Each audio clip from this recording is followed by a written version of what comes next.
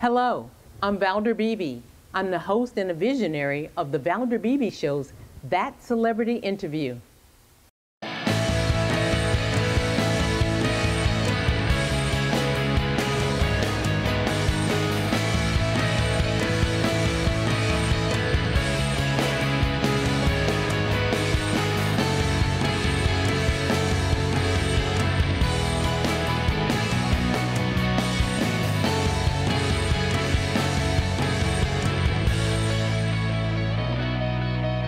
Deborah, thank you so much for coming to the Valder Beebe show this morning. We really appreciate it. Nice to be here.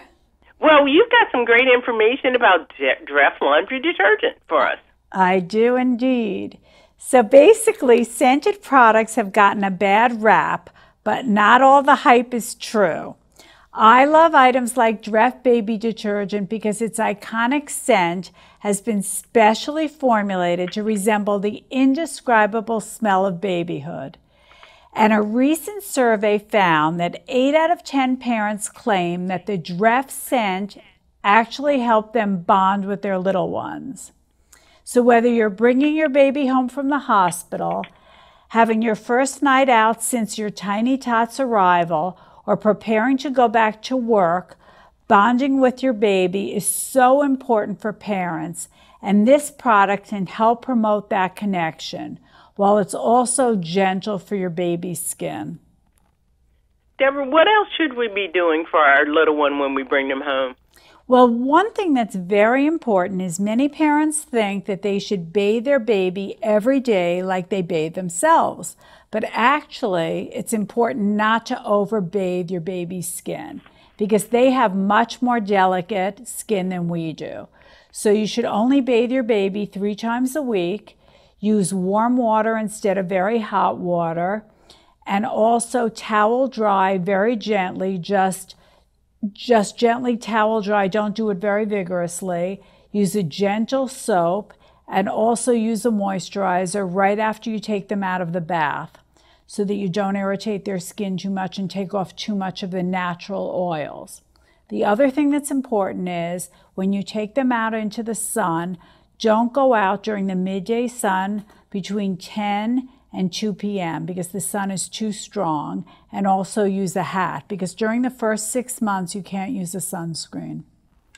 I want my audience to know that Dr. Deborah Jaliman, she's a world-renowned renowned dermatologist, and she's here to give us some tips about that new bundle of joy. All right, what else do we need to know uh, about bath time, about just taking care of our new new joy?